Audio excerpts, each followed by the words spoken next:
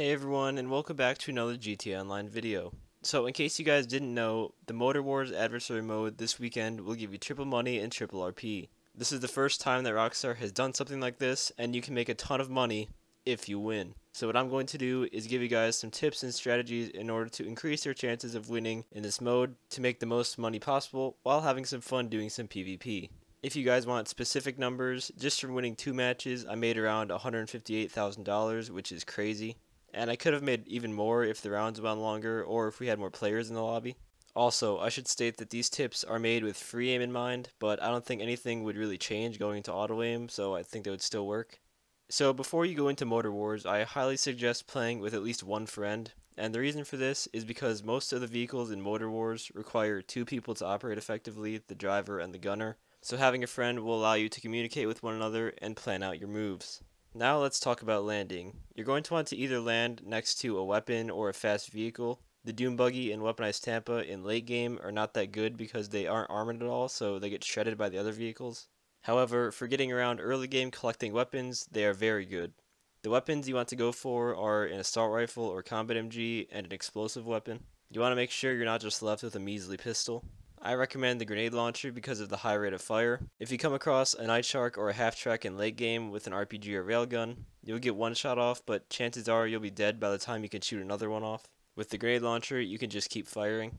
So now that you've got the weapons you want, you now need to get into the vehicle that you will use for late game survival.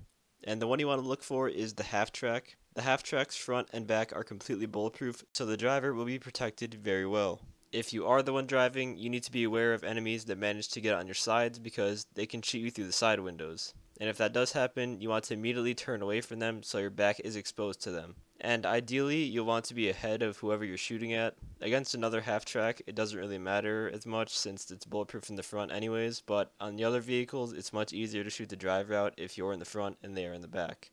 The other vehicle that is good for late game is the Nightshark with the trailer attached.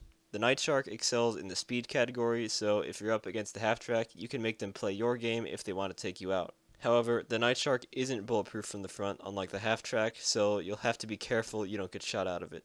Now let's talk about what to do when you're outnumbered one vehicle against maybe two or three. The main thing you want to do is make sure that you only take fire from one direction.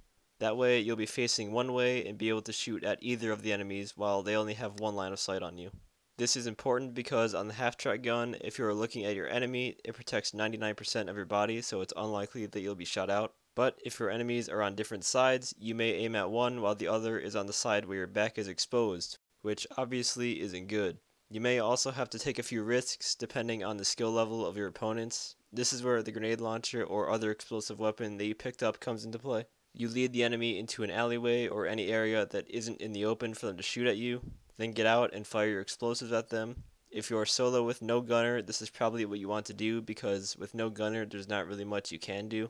If you can at least get one of the enemies with this tactic, then that's a good thing. Alright, so now, what if the round goes on so long that it ends up in sudden death, where if you go out of the circle, the game is over?